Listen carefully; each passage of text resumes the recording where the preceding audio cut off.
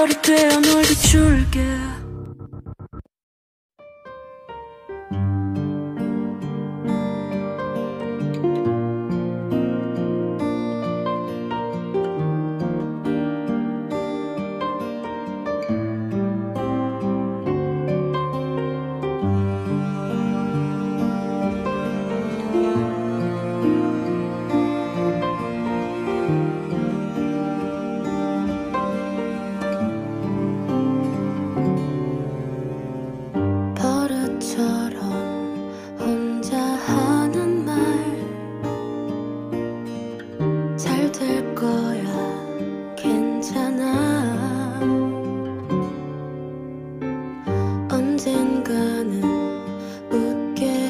treasure.